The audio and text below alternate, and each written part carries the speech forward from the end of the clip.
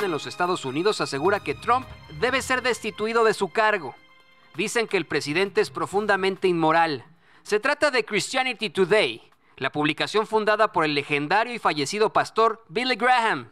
Obviamente, obviamente, Trump no se quedó callado.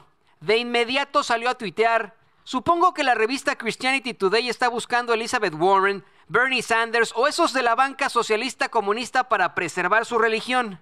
¿Qué tal con el dormilón Joe? El hecho es que ningún presidente ha hecho lo que yo por los evangélicos o por toda la religión. Y es que le dieron en toda la torre a Trump.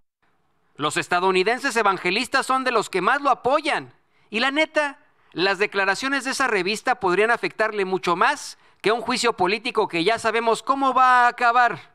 Por cierto que la presidenta de la Cámara de Representantes ya invitó como parte de sus funciones al presidente Donald Trump para que dé su informe de gobierno el 4 de febrero del ya muy cercano año que viene mientras estará teniendo lugar ese juicio político en el Senado. En otras noticias, un legislador estatal fue acusado de terrorismo doméstico. Es republicano. Se trata del representante del estado de Washington, Matt Shea, quien es señalado de participar en el enfrentamiento en contra del gobierno de los Estados Unidos en un refugio de vida silvestre en Oregon en 2016. Lo acusan de viajar para reunirse con extremistas de la ultraderecha y de hasta entrenar jóvenes para pelear una guerra santa. Ya fue expulsado del caucus republicano y ambos partidos exigen su renuncia, pero él, él no quiere. Hasta aquí con la información desde la Ciudad de los Vientos, desde Chicago. Le pido encarecidamente que deje ese miedo atrás, esa angustia, con información, con noticias. Éntrale sin miedo a la información. Yo soy Antonio Ruiz para la octava. Hasta la próxima.